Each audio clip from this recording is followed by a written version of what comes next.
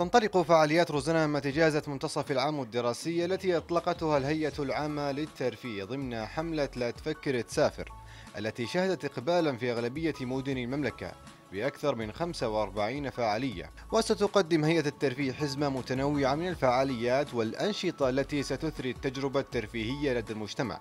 وفي الرياض تعرض المسرحية الكوميدية المفتوحة للعائلات والشباب في جامعة الأميرة نورة بنت عبد الرحمن. وتقام بعض العروض للأطفال والعائلات في مركز الملك فهد الثقافي إضافة إلى ملتقى الطيران السعودي الرابع في مطار الثمامة. وفي عدد من مدن المنطقة الشرقية تقام مجموعة من الفعاليات تتقدمها فعالية السيرك العالمية إضافة إلى مسرحية الرعب الكوميدية.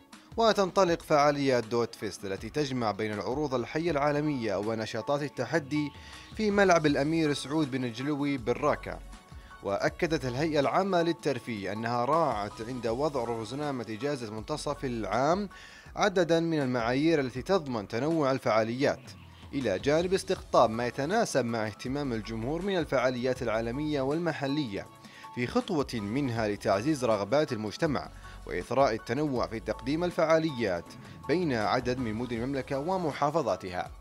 للإخبارية عبد الله الصبيعي الرياض.